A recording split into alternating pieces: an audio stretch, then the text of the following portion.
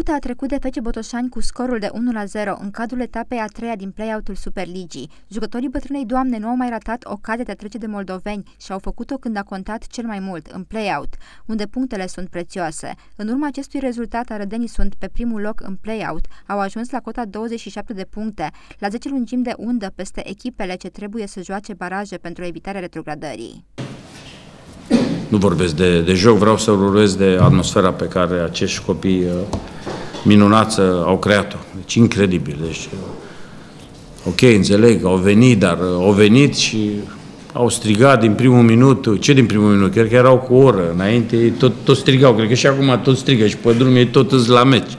Deci felicitări și, și la cei care, care au organizat, că n-a fost ușor.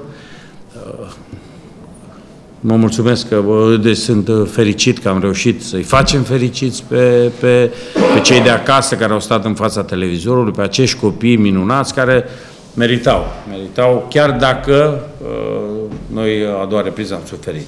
Așa la joc, o repriză, uh, prima repriză bună, am controlat jocul, am reușit să înscrie, ne-am creat și alte ocazii, au avut uh, bara, care a fost o ezitare pe zona centrală, dar uh, în rest, eu cred că prima repriză a fost bună pentru noi. Nu e ușor cu o echipă care, de când a venit Andone, joacă,